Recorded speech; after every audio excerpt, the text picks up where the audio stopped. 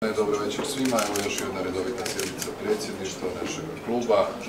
Raspravili smo brojne aktualne teme, posljednika sastanka. Izdvojio bih današnji posjet jučerašnji Sarajevu, sastanke sa vijećem ministara,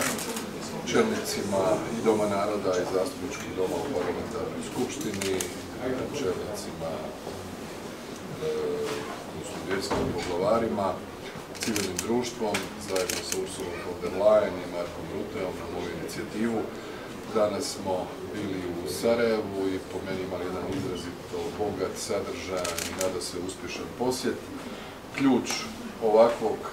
formata i koncepcije ovakvog posjeta je plod naših rasprava o Bosni i Hercegovini na Europskom vijeću u prosincu, kada smo do sada za Bosnu i Hercegovinu dobili na prijedlog Hrvatske najbolje zaključke koji otvaraju mogućnost da se u ožujku donese odluka o otvaranju pristupnih pregovora. Došli smo u ovom formatu evropskog tima, Hrvatska kao najveći prijatelj i zagovaratelj Bosne i Hercegovine, Nizozemska kao zemlja koja je tradicionalno e, najviše rezervirana ili skeptična prema procesu proširenja i predsjednica komisije koja ima zadaću krajem veljače, početkom ožujka, zajedno s povjerenikom Marhelijem, zaduženim za proširenje, predložiti e,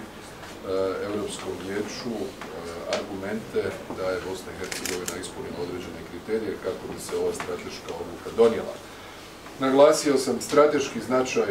trenutka, trenutka prije nego što se raspusti Europski parlament i u fazu europske kampanje, izbora, pa nakon toga i formiranja novih europskih institucija, to je trenutak da Bosna i Hercegovina e,